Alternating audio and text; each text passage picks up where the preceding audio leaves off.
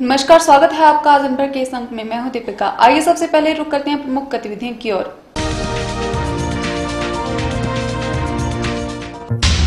हमीरपुर में गेहूँ की फ़सल पर पीले रतुआ का कहर लाखों रुपए की गेहूँ की फ़सल बर्बादी की कगार पर किसानों के माथे पर खींची चिंता की लकीरें। विभाग पीले रतुए से निपटने का कर रहा है दावा।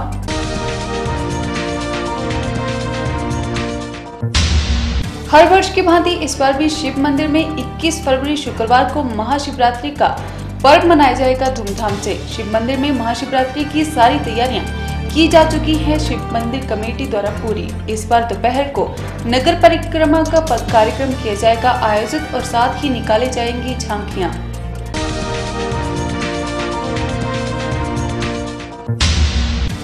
अलेमको प्रोडक्शन सेंटर मोहाली के सहयोग से जिला कल्याण अधिकारी हमीरपुर अमरजीत डोगरा के द्वारा ज़िले भर के विशेष रूप से सक्षम पात्र लोगों के लिए विभिन्न उपकरणों के आवंटन हेतु विशेष परीक्षण कैंप का किया गया आयोजन। कैंप में लगभग 355 लोगों ने लिया भाग।